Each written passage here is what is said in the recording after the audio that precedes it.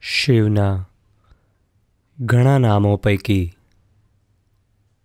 સોમ એક મહત્વનું નામ છે. સોમનો અર્થ થાય છે નશો. જો નશો નહીં હોય તો તમારામાં ક્યારેય જુનૂન નહીં આવે, જે પરમ શૂન્ય સુધી લઈ જાય, જે એકમાત્ર મુક્તિ છે. તો સોમ કે સોમ સુંદર એ શિવનું મહત્વનું એક નામ છે. કાયમ નશામાં. પણ સતેજ. તો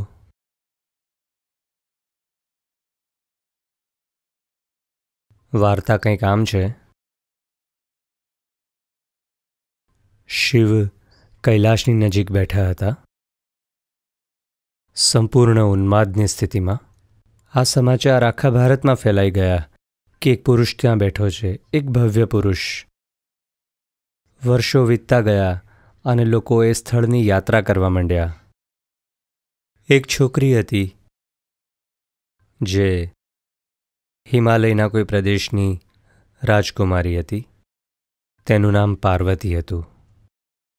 અને જ્યારે તેણે આ સાંભળ્યું, ત્યારે તેણે કહ્યું કે હું આ પુરુષને મળવા જઈશ. જ્યારે તેની આંખો આ પુરુષ પર મંડાઈ, તે ખૂબ મંત્રમુગ્ધ થઈ ગઈ. તેણે કહ્યું, હું જો પરણીશ, તો ફક્ત આ જ પુરુષને. પછી કોઈએ શિવને મનાવ્યા અને તેમણે લગ્ન કરવાનો નિર્ણય કર્યો. ભારે ધામધૂમથી લગ્ન થયા અને ઘણા બધા લોકો ત્યાં આવ્યા. નવવધુ શણગાર સજીને બેઠી હતી અને વરરાજાની સૌ કોઈ રાહ જોઈ રહ્યા હતા. અને આખરે વરરાજા આવ્યા. શિવ આવ્યા. શરીરે ભસ્મ ચોળેલી, ભયજનક જટા, સંપૂર્ણપણે નશામાં ધૂત અને સાથે તેમના મિત્રો, પિશાચો અને ઉન્મત્ત બનેલા લોકો ઘોંઘાટ કરી રહ્યા હતા. પાર્વતીની માતા મીનાએ આ માણસને અને તેના મિત્રોને જોયા. જ્યારે તેણે વિચાર્યું કે તેની પુત્રી આ પુરુષને લગ્ન કરવાની છે. તે બેભાન થઈને પડી ગઈ. પછી સૌએ તેને ભાનમાં લાવી અને તે ખૂબ ઊંડા આઘાતમાં હતી કે હું આ પુરુષ સાથે કઈ રીતે મારી દીકરીને આપી દઉં? તે જંગલી છે, સાવ અસભ્ય છે. તે માનવી પણ નથી, કંઈક અલગ જ છે. આથી પાર્વતીએ શિવ પાસે જઈને આજીજી કરી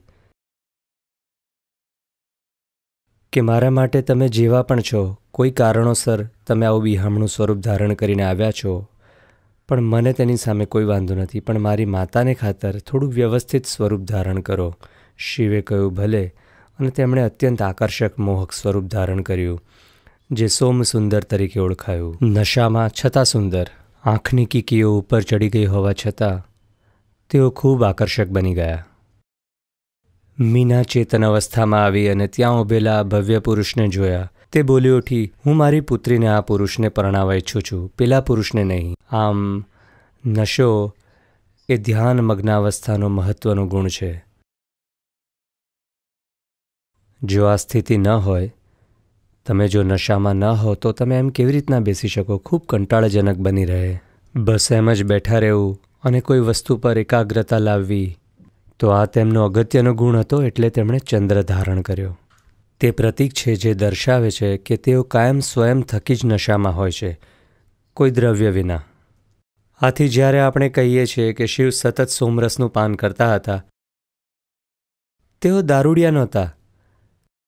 તેઓ કેવળ ચંદ્રકિરણનું પાન કરતા હતા, જેને તેઓ કાયમ તેમની જટામાં રાખતા અને સતત ગ્રહણ કરતા. આ અતિશય આનંદની અવસ્થા લક્ષ્ય નથી. આ આનંદપ્રદ અવસ્થા પીડાના ભયથી મુક્તિ આપે છે. પીડાનો ભય જાય છે અને વિચાર કે મારું શું થશે એ વિચારથી મુક્તિ મળે છે. ત્યારે જ તમે હિંમત કરી શકશો જિંદગીને ખોળવાની. બાકી તમે કાયમ તેનું રક્ષણ જ કરશો. કારકિર્દી હોય કે ધંધો બધામાં સુરક્ષા કેન્દ્ર સ્થાને છે. લગ્ન પણ એક પ્રકારની સુરક્ષા માટે છે. બધું જ સુરક્ષા માટે છે.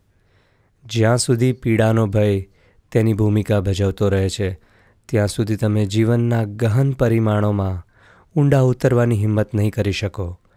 જો તમે આ રીતે નશામાં રહેશો, પણ સંપૂર્ણ સચેત, તો પીડાનો કોઈ ભય સતાવતો નથી.